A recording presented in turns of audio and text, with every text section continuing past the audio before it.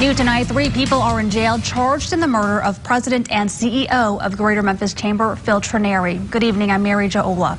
Now here are pictures of two of the suspects. Memphis police arrested 18-year-old Quandarius Richardson, 22-year-old McKinney Wright Jr., and 16-year-old Rakanisha Wright, who is not pictured because she is a minor. Now, Local 24's Annette Pegler joins us live in the studio with reaction from Trenary's neighbors on these arrests. Annette.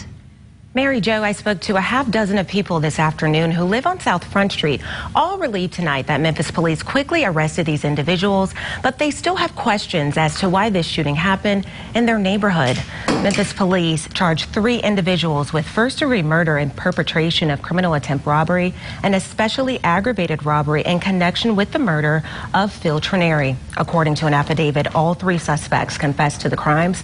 Quandarius Richardson told investigators the three were riding around downtown Memphis and discussed possible robbery suspects before the shooting.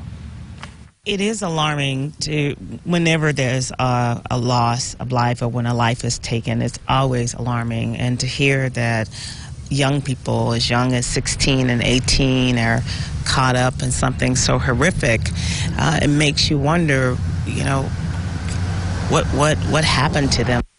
Local 24 News did some digging, and McKinney Wright Jr. has a criminal past. He has a drug and firearm possession charge dating back to February 2017. Live in the studio, Annette Pegler, Local 24 News. Annette, thank you. Funeral arrangements for Phil Trenary have been set. It will be Thursday, October 4th at Christ United Methodist Church in East Memphis. Visitation starts at noon, and the funeral will follow at 2.